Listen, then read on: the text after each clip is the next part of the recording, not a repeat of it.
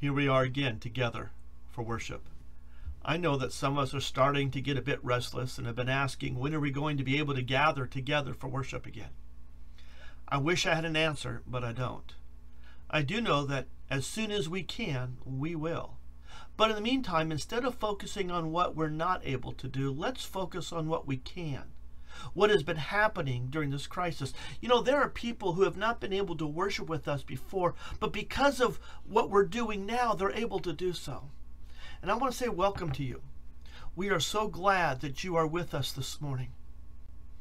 During the countdown, I'd like to share a few announcements. If you have any questions regarding any of the announcements, you can give me a call, send me a text, or even email me. First of all, Bible study is back.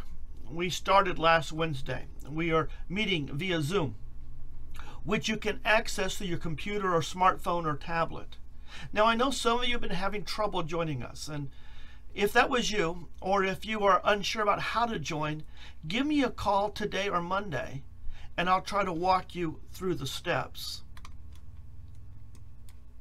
A few have asked if our men's group was still meeting. The answer is yes. And that's because our gathering is still less than 10. We are meeting Tuesday mornings at 9:30 a.m. for prayer and Bible discussion. We have not yet delivered the diapers and wipes to the Caring for Women Pregnancy and Resource Center so you still have time to bring down some diapers and wipes. Again, call before you come and make sure someone is here at the church to let you in. If you have any prayer requests or praises, you can share them with the church family by calling, texting, or emailing me. Just a reminder, we are putting together the service on Friday afternoons, so you'll want to be able to get them in before then. I want to say how blessed I feel because of the hearts that you have for the Lord. I know that it has not been easy for some of you during this crisis, and yet you are still keeping the Lord's ministry through Gridley Christian Church a priority. And no, it is not an inconvenience to have someone come and by and pick up your tithe or offering. I know for the last couple of weeks I've asked you to encourage each other uh, through text during our greeting time. And yes, I know I forgot to add some time last week for you to do so, but that didn't keep you from encouraging each other, and that is so great. So let's keep that up, but not just today, but find time throughout the week to send a word of encouragement to someone. Next week is Mother's Day, and we want to put together a special appreciation gift for moms next week, and I need your help. So if you can fill out the handout regarding mom uh, and send it to us this week, it'd be great. If you didn't get one, you can download one on the link on our YouTube channel. And finally, we have some anniversaries to recognize. Last Thursday was Jean and Sue Anders's anniversary. And this coming Wednesday is Rogelio and Jeanette's anniversary. We want to just say happy anniversary to all of you. Let's now prepare our hearts to worship our Lord.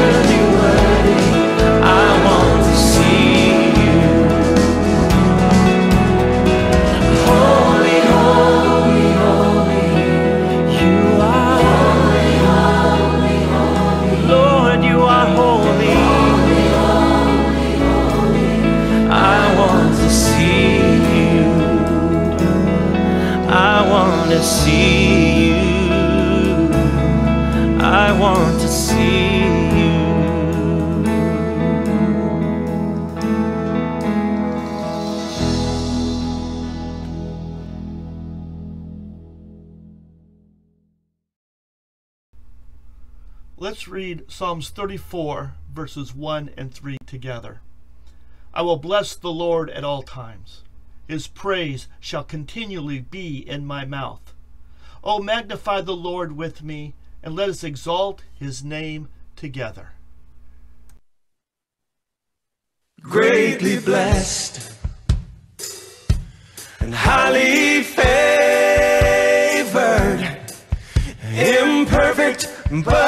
forgiven child of God, greatly blessed and highly favored, imperfect but forgiven child of God, greatly blessed.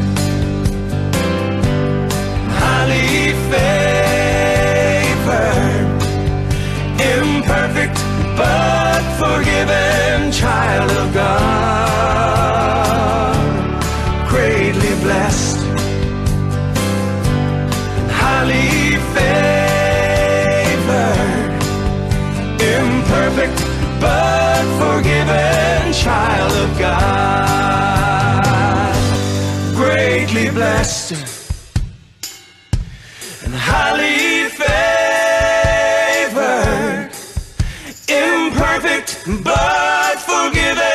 Child of God,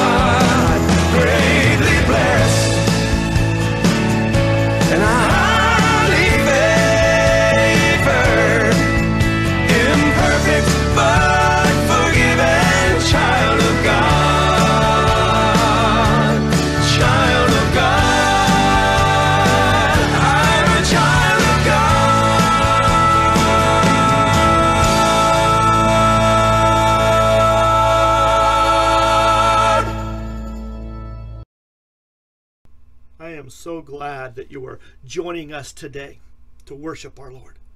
I find it interesting that in the news we hear over and over again that the states will soon allow churches to open up again. What they don't realize is that the church never closed. Because church is not a building, church is not a gathering place. Church doesn't only happen when we gather together in the same location at the same time. Because we, God's children, are the church. And when we gather together to worship God, no matter how we gather, in person or over the internet, that is church. So, as we gather, let us continue to turn our hearts towards God. Let's pray. Father God, thank you for this time that we have to turn our hearts towards you, to focus our lives upon you. Father, I know that this is not what we're always comfortable with. We're more comfortable gathering together.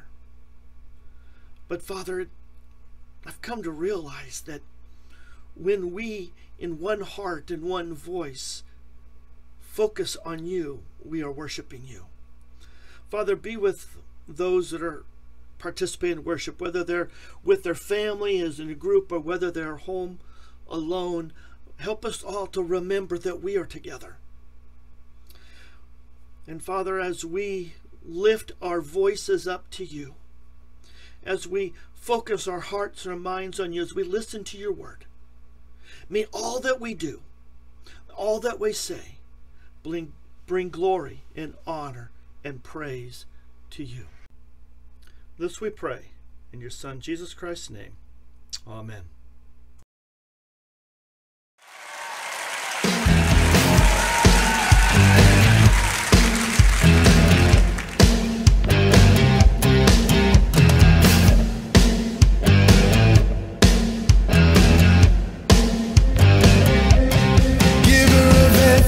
Breath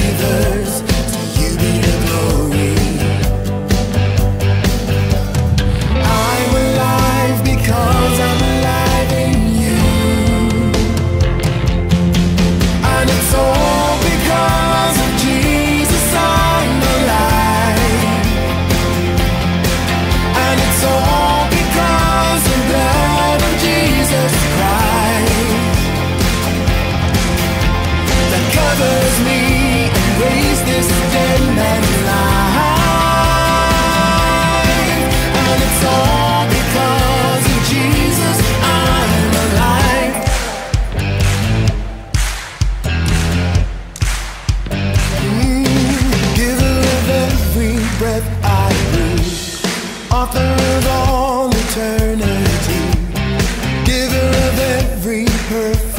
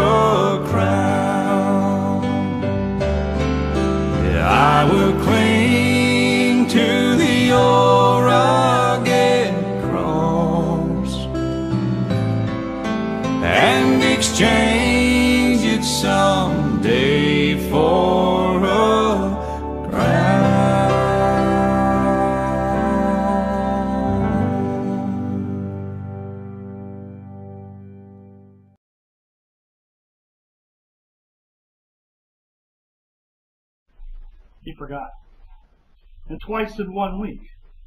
First, he forgot to arrange transportation to the doctor's appointment.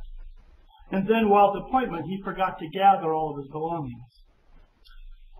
Neither incident was a big deal, but it did take time to sort things out. And it did cause inconvenience and frustration. These are tools and techniques for remembering and staying on track. And these days, even phones and watches can remind us of upcoming events and chide us if we're being lazy. In this crazy multitasking world, some people need all the help they can get. Wouldn't it be great if God gave us something to remind us to pay attention to certain things? He has, in fact, done just that. He created spiritual post-it notes because he knows we easily forget the things that matter most. One spiritual post-it note is communion. Jesus established the event and then called on us, his disciples, to live with it. This is a very this is very practical because so often we forget what really matters in life. We're distracted by things that shimmer and shine. We get caught up in the tyranny of the urgent. Ezekiel 16 offers an example of forgetfulness. It tells the story that compares the nation of Israel to an abandoned baby girl.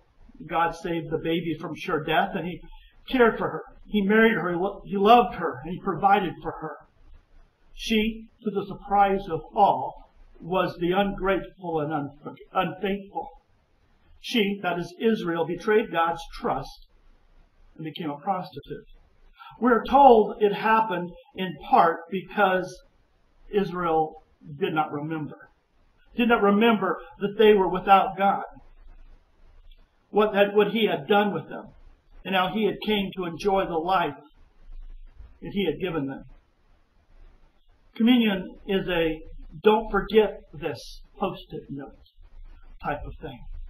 Every Sunday when we partake of communion, we are called back to the things that matter most.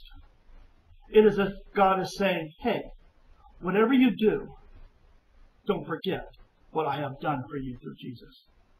Let's pray.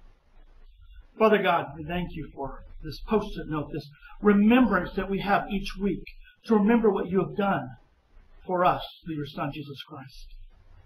Father, as we partake this morning, let our minds dwell upon not just the blessings that you have given us, but the sacrifice your Son went through because of the love that you have for us. Father, we pray this in your Son's holy and precious name. Amen.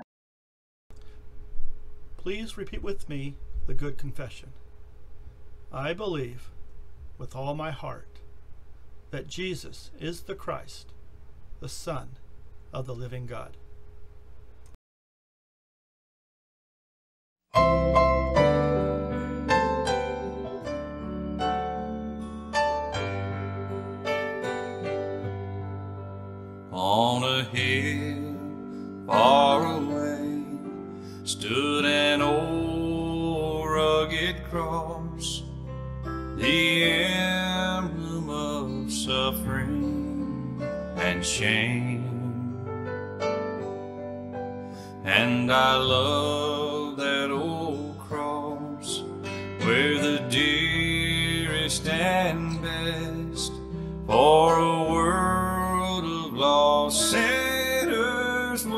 Slain.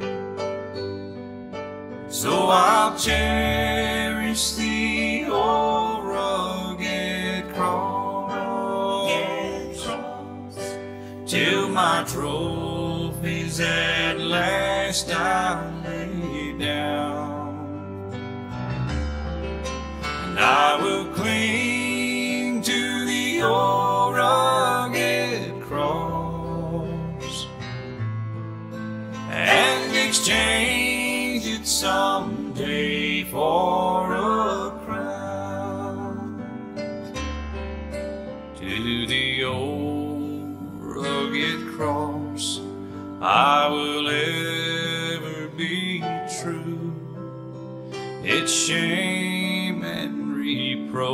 gladly bear.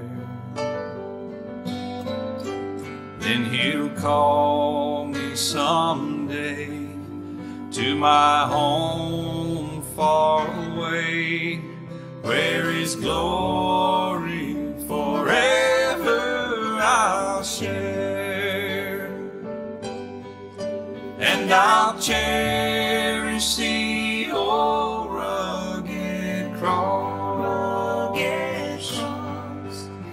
my trophies at last I'll lay down,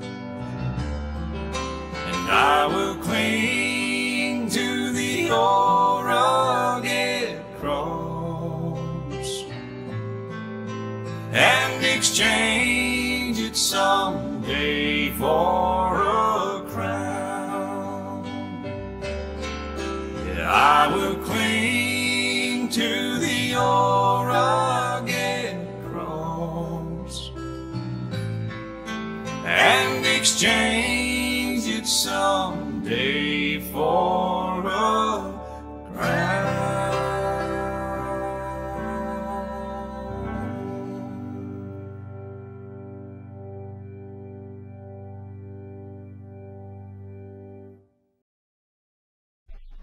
Good morning, church.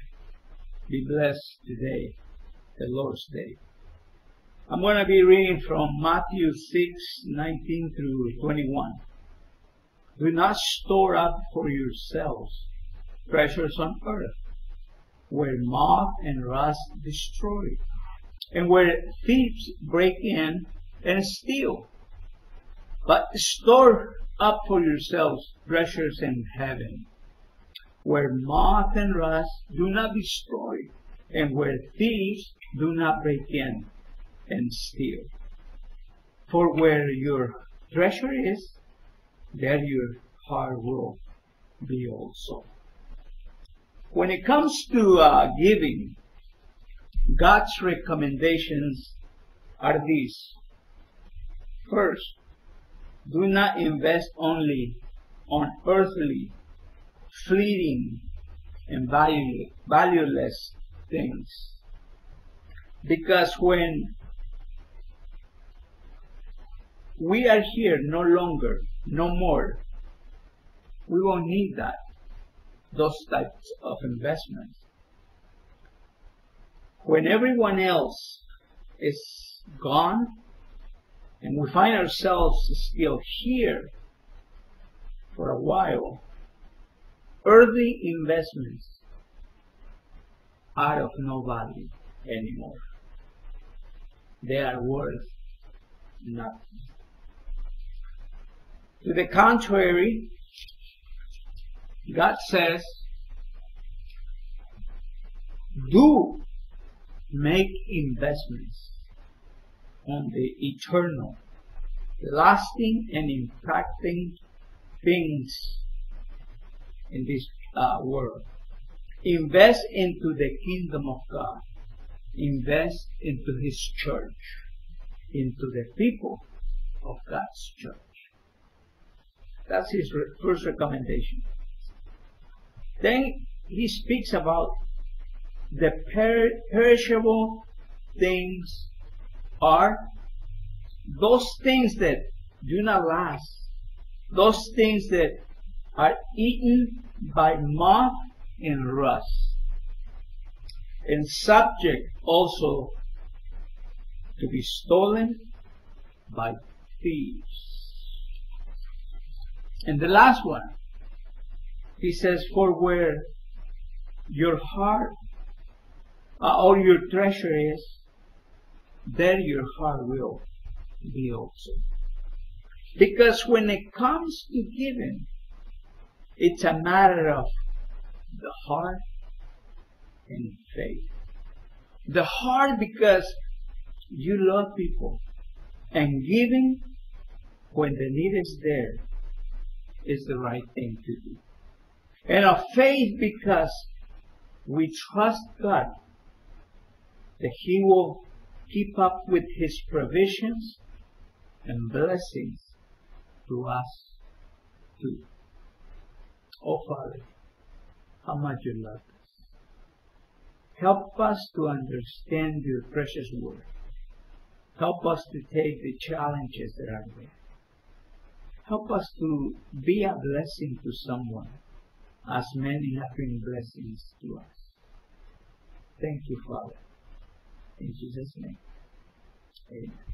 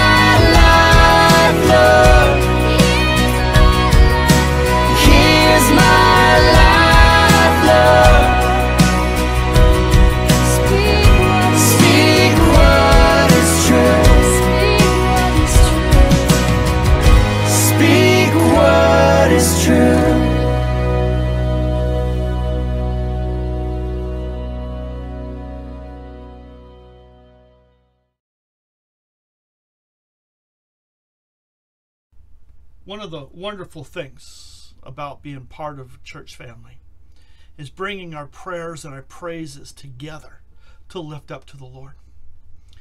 Our, we have only one praise that's been shared this week, and that's our Wednesday Bible study.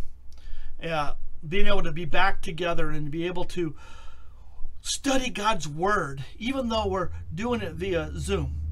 It, it was a really good time this last week, and so there's that praise there. And and this week, the prayers I would like you to focus on is for those in our church family with continued health problems. Um, n- listing some and not everyone, but Donnie Hughes, Sharon Loffmiller, Bruce Anderson, Kathy and Tony, Tony Gil- Gilman, Marilena Mercier, Jean Andrews, Mara Shackelford, Pat McBride, Bill Childs, Laverne and Jerry Johnson, and Stone. Each of them have different struggles and different difficulties. But I would like you to take some time, like we did a couple weeks ago, in the group that you're at now, is to pray for these things, or maybe pray for them by now. And I'm going to let you pray for a, about a minute or two. And then um, after some time, I'm going to close in prayer.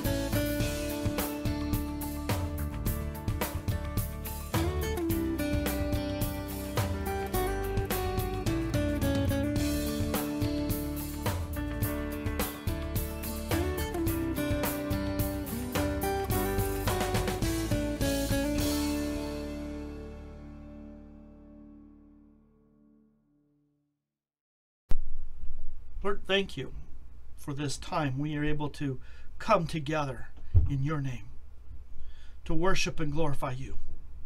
Father, thank you for each person whose hearts are towards yours. We lift to you all those we've talked about. We lay them in your hands. Father, I also ask that you be with me as I share from your word. Father, just pray that your words speak forth and not mine. Father, just pray that what is heard and what is seen is what we use to touch our hearts and bring us closer to you. Thank you, Lord. In your Son's holy and precious name. Amen.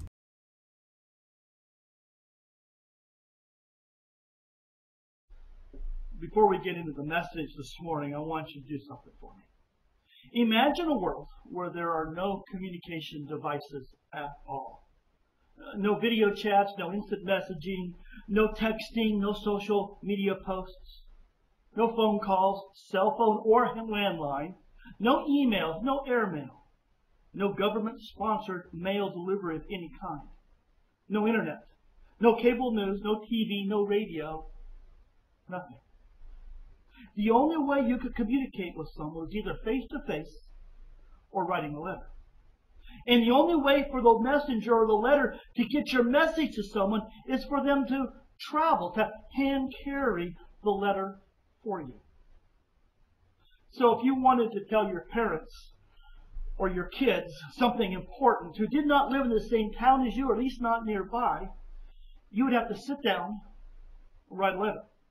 And then you have to find someone who was going where they lived. Or send someone there. And then you would have to wait for reply. For them to hear or read what you wrote. To find, they, they would have to write reply. They would have to then find someone to carry that reply back. You got it in your mind? That's the world that John was living in. I think this is important because we often think that the smaller letters of the Bible are not as important as the larger ones. But think about it. I think understanding how letters and notes were handled gives us even more gives even more weight to the smaller letters. Maybe more urgency to them. We're on the second sermon in the series I'm calling Postcards from John. And we're studying 1st, 2nd, and 3rd John. And last, and last week was important. We looked at part of 1st John because we looked at some of the details surrounding these letters. Remember, we heard that John was writing to the churches scattered all through Asia Minor, that he was a disciple of Jesus, part of his inner circle, and was a witness to most, if not all, of Jesus' ministry. And now John is an old man in his mid 70s or early 80s. I hope you also remember those three words that I told you to jot down last week Jesus, love, and truth. These three words are the themes that John is going to use over and over in his teachings and writings in these three letters. Now, it's been about 50 years since the church began on Pentecost Sunday. So, John is writing to a second generation Christians. And so, John's fear is that this new generation of Christians will be divided as old meets young. So he writes about love. And John is afraid that confusion surrounding Jesus Christ will become more prevalent and so John writes about his firsthand experiences with his Savior Jesus. So in our text in 3 John, and before I go any further, some of you are already asking yourselves, 3 John? Yeah, don't you know how the letters are numbered? 1 John, Second John, then Third John? But First John is the longest of the letters. That's why it's given the number one. And I discovered that Second John and Third John sort of set the table for First John. And the reason why they're numbered First, Second, Third John is because of size. First John being the longest, Third John being the smallest. And so we're going to be looking at them in reverse order, from smallest to largest. And if you take in consideration what it took to send a letter to someone in John's day. We just might be, might be, looking at them in order of importance. But this week we're looking at 3 John. After Mother's Day next week, we're going to look at 2 John. And then we're going to spend the rest of the series looking at 1 John. So, let's read our text this morning. And if you haven't pulled out your Bibles or opened up your Bible app yet, now would be a good time to do so. Go to 3 John. It's comes right before Jude and Revelation at the back of the Bible. The Revelation being the last book of the Bible. Now, If you don't have a Bible, uh, give me a call because I have several Bibles here and I would love to give you one of them. Now, I, one other thing I want to mention before we go and read 3 John is that depending upon your version, 3 John either has 14 or 15 verses. I'm going to be reading from the New International Version, which has 14 verses. Now, there, there's nothing missing. Some versions have taken the last verse of 3 John and split it into two and making it two verses. And that's the only difference. That's the only reason. And you'll see why when we get there, why some people have, some of the uh, translators had done that. But let's take a look at, uh, start with the first eight verses of 1 John. He writes, The elder, to my dear friend Gaius, whom I love in the truth. Dear friend, I pray that you may enjoy good health and that all may go well with you, even as your soul is getting along well. Let's stop there for a moment.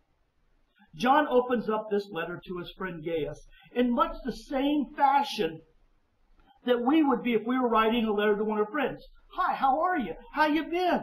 I'm fine.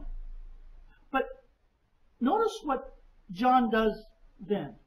He prays for his friend. He says, I pray that you may enjoy good health. And then John makes an interesting statement. I hope that your soul health matches your physical health. The words he used says, even as your soul is getting along well. Now, we live in a society that puts a whole lot more priority on physical health over spiritual health. Now, there's nothing wrong with putting a, an emphasis, a, some kind of priority on physical health. A physical body is important. We're supposed to take care of our body. But I wonder, do we take as much time looking after our spiritual health as we do our physical health? A good reminder from John that we should be more concerned with our spiritual health than our physical health. Why? Well, because we are going to die unless Christ returns first. And as much as you take care of your body, it is going to fade away. It is going to disappear. It is going to be replaced. So why not work on the one thing that will last forever? Your spiritual body. I found that interesting. Anyway, let's continue with verse 3. It gave me great joy to have some brothers come and tell me about your faithfulness to the truth and how you continue to walk in the truth. I have no greater joy than to hear that my children are walking in the truth. Dear friend, you are faithful in what you are doing for the brothers, even though they are strangers to you. They have told the church about your love. You do well to send them on their way in a manner worthy of God. It was for the sake of the name that they went out, receiving no help from the pagans. We ought therefore to show hospitality to such men, so that we may work together for the truth.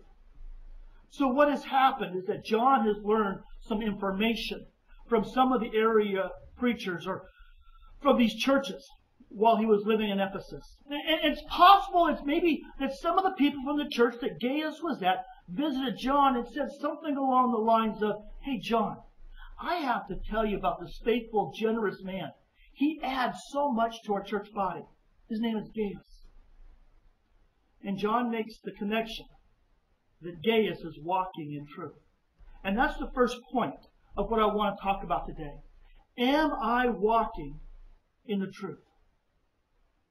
Over and over in John's letters, John makes the point that our actions determine if we're walking in the truth. In 1 John 4 8, he writes, Anyone who does not love does not know God because God is love.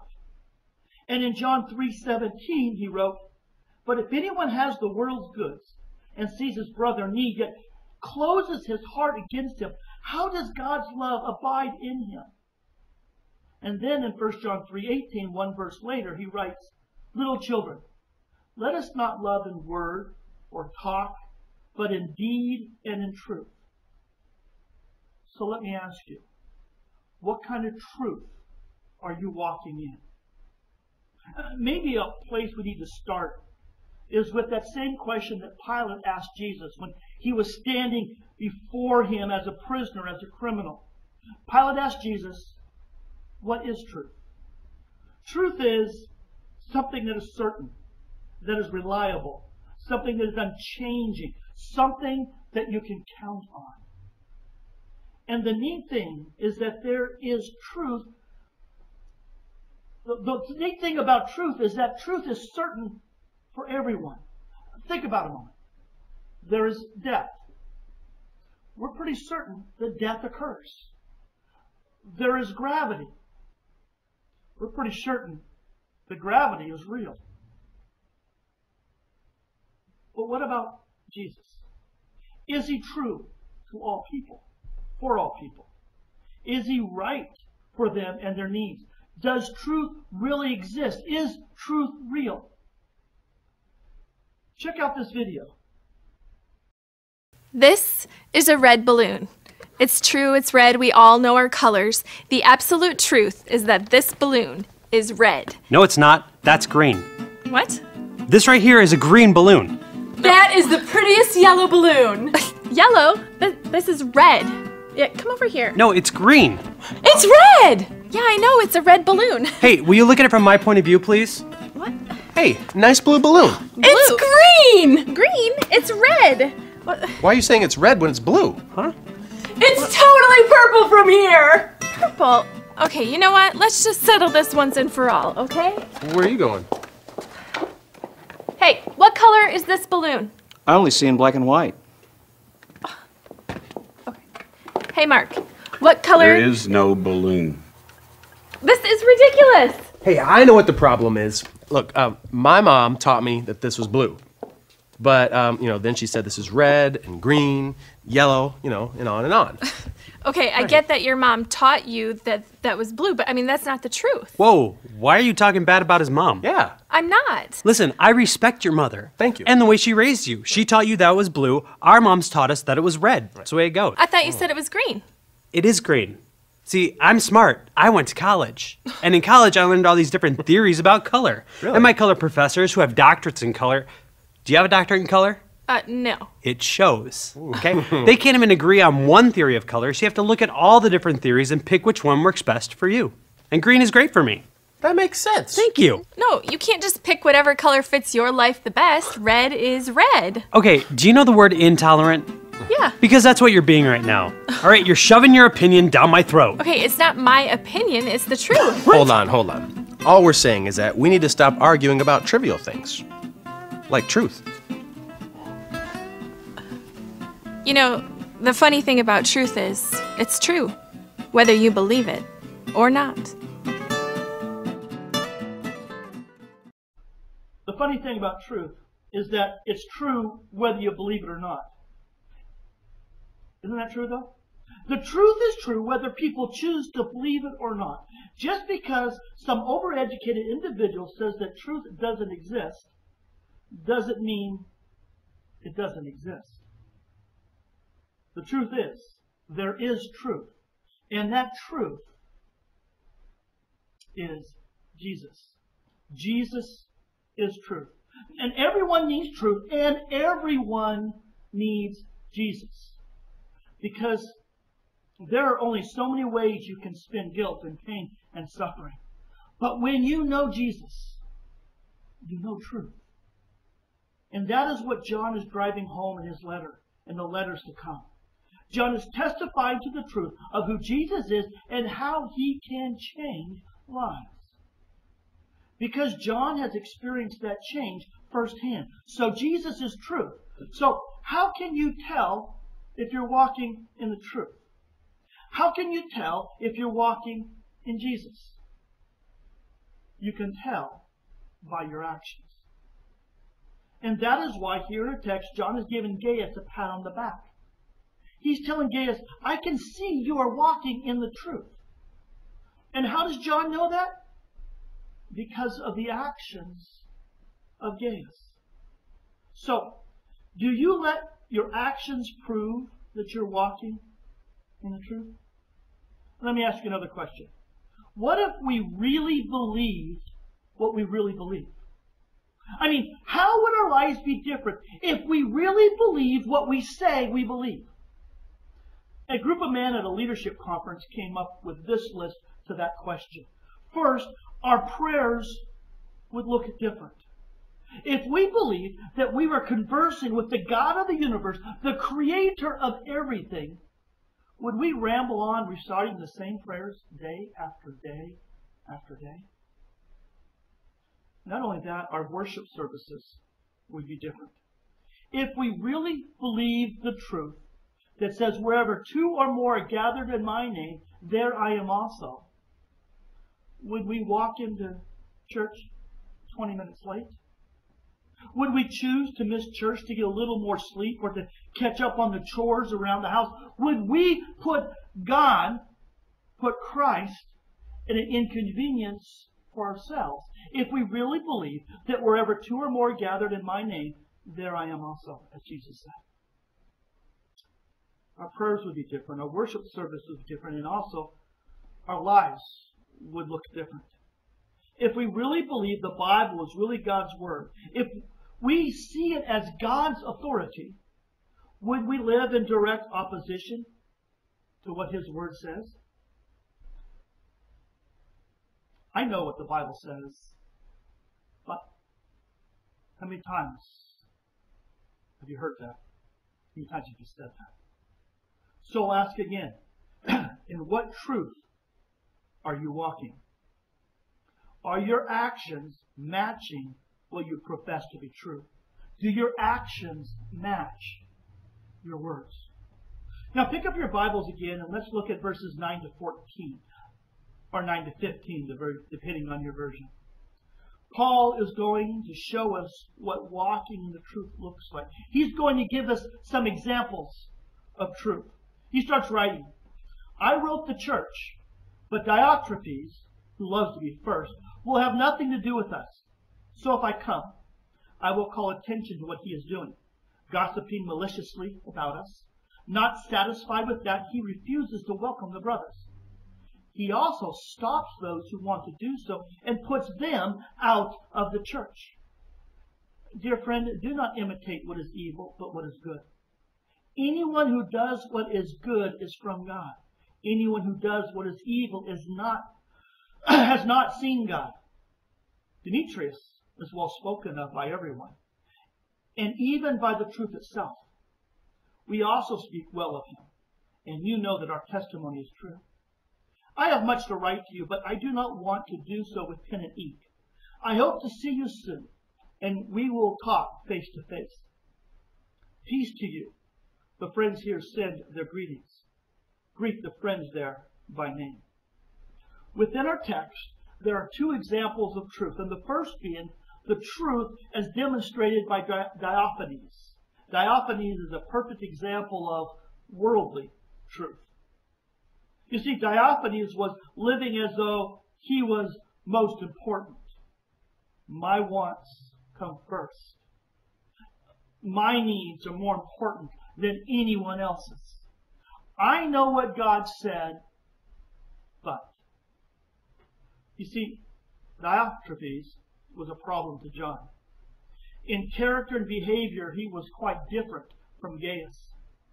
He is seen as loving himself more than others and refusing to welcome the traveling evangelists or pastors. Yet both men, Diotrephes and Gaius, it seems, remember the same congregation. Someone might ask, how can it be that they be the part of the same congregation, yet so different? Well, Jesus taught his disciples in Matthew 13 the kingdom of heaven could be compared to a man who sowed good seed in his field. But while men were sleeping, the enemy came and sowed weeds among the wheat. And it wasn't until the harvest that Jesus said that the wheat was separated from the wheat. the weeds were separated from the wheat. Paul warned Timothy, also a people connected with the Christian church, who held on to a form of religion. It's the outward trappings, but denied the power of faith. This reminds us that members of the visible church are not necessarily part of the true church. the body of Christ. The only one who truly knows is God. Uh, John's complaint, though, against Diotrephes was that he was proud and self-willed. Diotrephes is um, a warning of the char- characteristics that we need to guard against. The elder John's words are a pen portrait of a man to be avoided.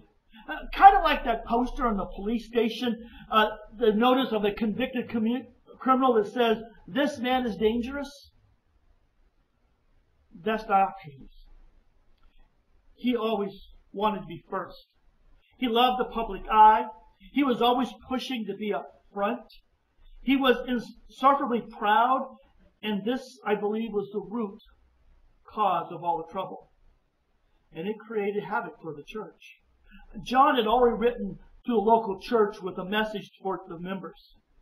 But Diotrephes was arrogant and refused to acknowledge the writer's authority. He may even have refused to read the letter to the congregation. He might even destroyed it. Whatever happened, the effect was to reject the instructions issued by John.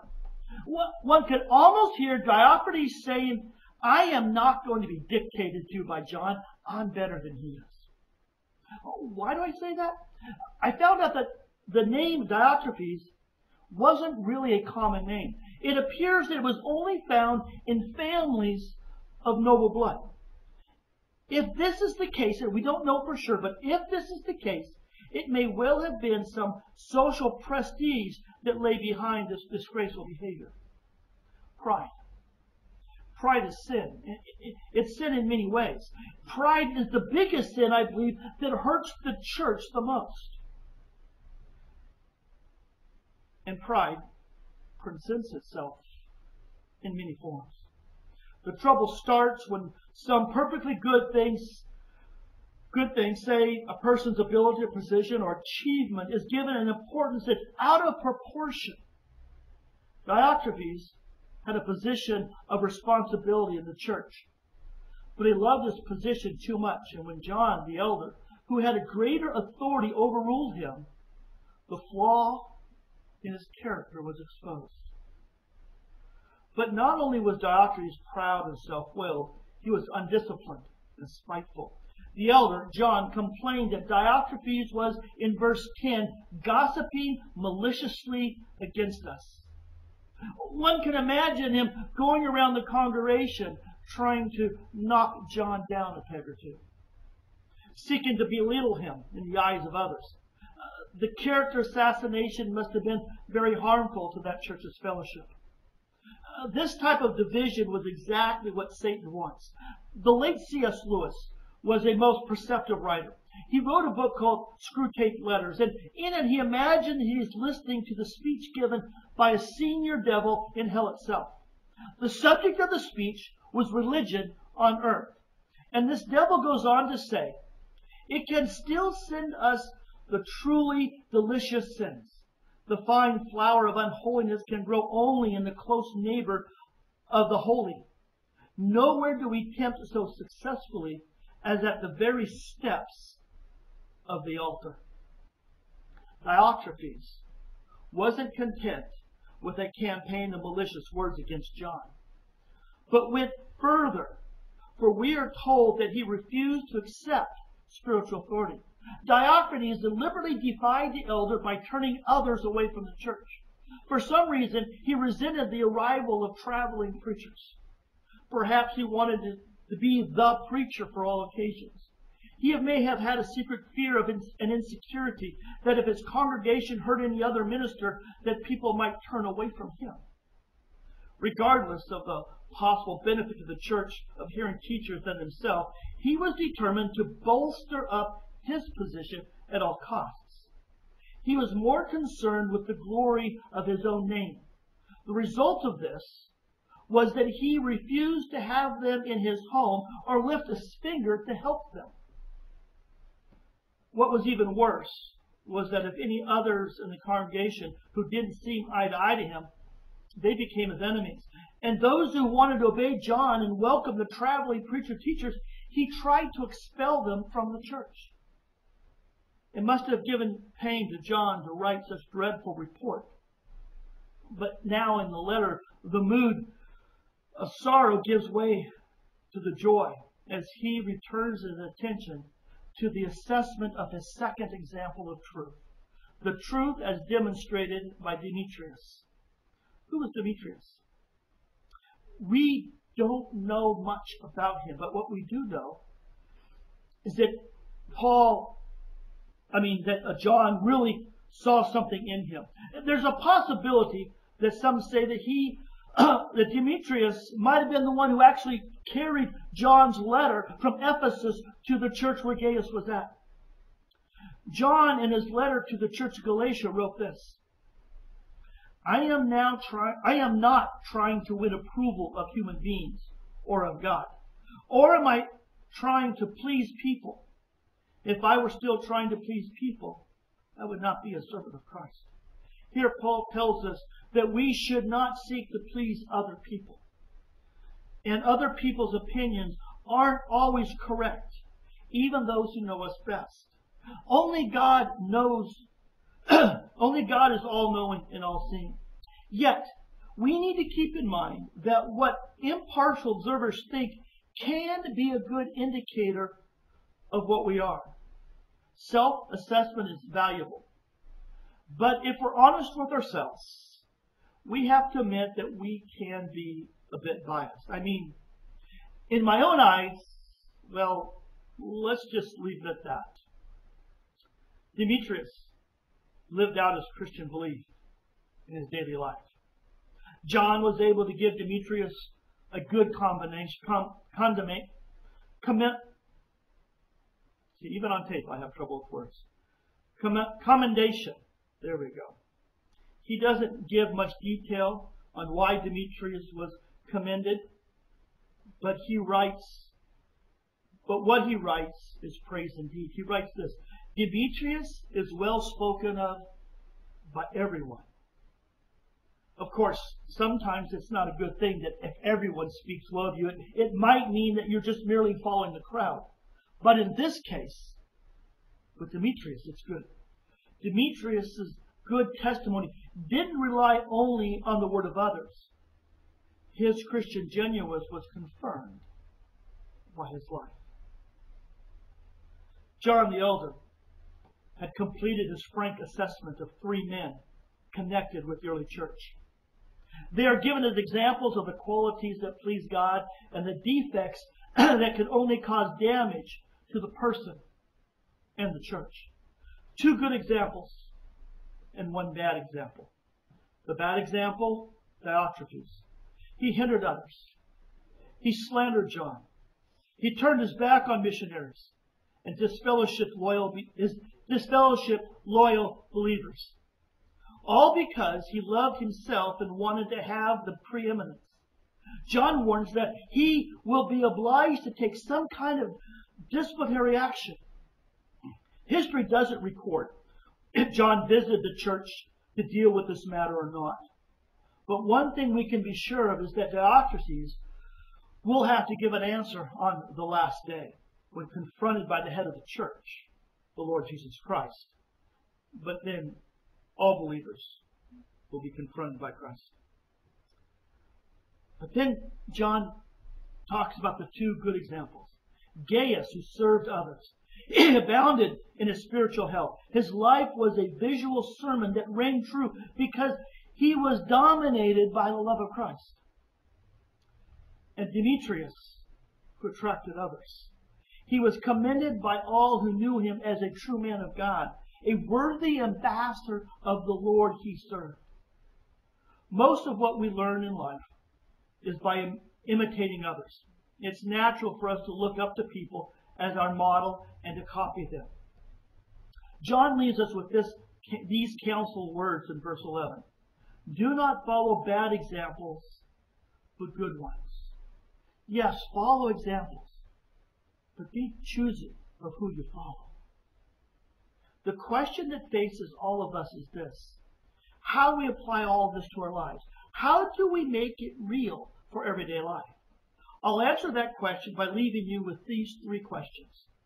Use these questions to bring your spiritual life more in line with the healthy spiritual life that God desires for you. The first question to ask Do my actions match my belief? See, consistency is a test for truth. I'm not saying ask yourself, do I mess up? Do I fall down? Do I make mistakes? But overall, do the choices of life I make, do they match what I believe? Second question. What person in your life is modeling the truth? Look around to see, eh, those that you're around to see who is it that you see emulating what God's word says.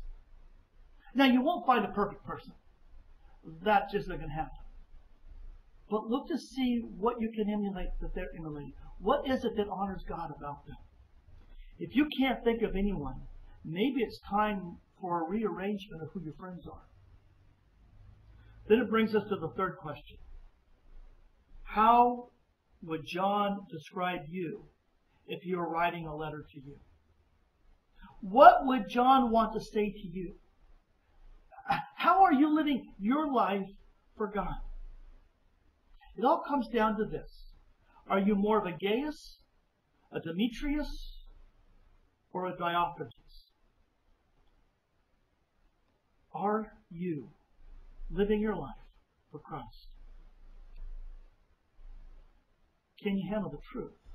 Can you handle the truth of God's Word in your life? We're going to be singing a song called Give Us Clean Hands. And in that song are these words. We bow our hearts, we bend our knees. O Spirit, come and make us humble. We turn our eyes from evil things. O Lord, we cast down our idols. Are you bowing your hearts and your knees to God? Or are you looking at what the world has and looking at what you want first? You to answer that question. Let's sing. Give us clean hands.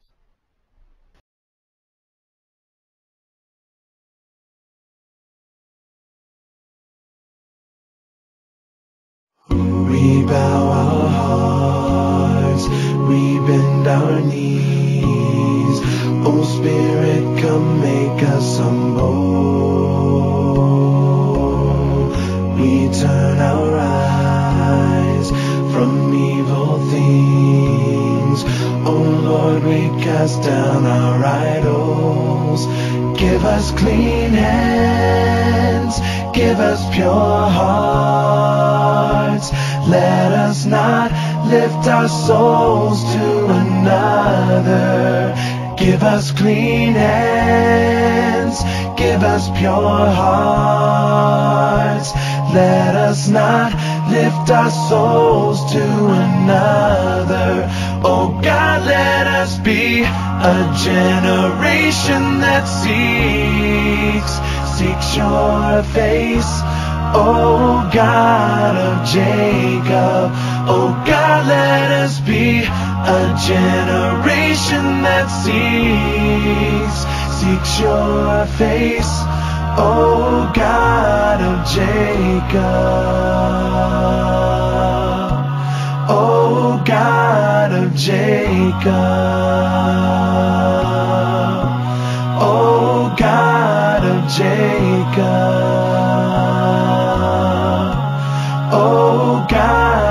Jacob.